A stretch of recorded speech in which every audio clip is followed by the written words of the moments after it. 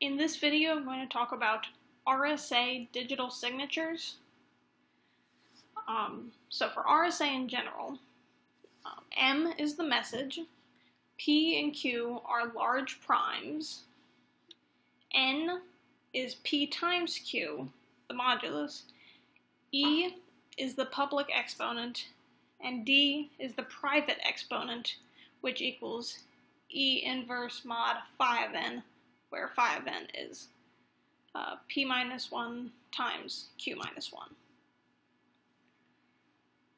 Um, so, when we want to send something digitally signed by RSA, what we send is in the form m comma y, where m is the message. Remember, the idea when you're doing digital signatures is not to hide the message, so much as to um, make sure the message actually came from the person that you think it came from. So remember, the message is public, so that's not an issue in this case. So M the message and Y is the signature. And Y is equal to M to the D. Okay, so recall that N and E are always public for RSA. E is the public encryption exponent. Um, and in this case, M and Y are also public because that's what we're sending. The private is the P, Q, and D.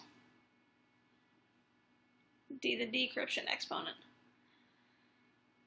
So only the person who is sending the message has this private D. To verify that this is, that this came from the person you think it came from, we also have to note the property that um, D times E equals 1. So we have y equals m to the d. We don't know what d is. We do know what m is, but uh, we also have e. So we have this value and this value. So if we take m times d to the e, we know that d times, excuse me, m to the de, that will equal m to the 1, because d times e equals 1 which is just the same thing as M, the message.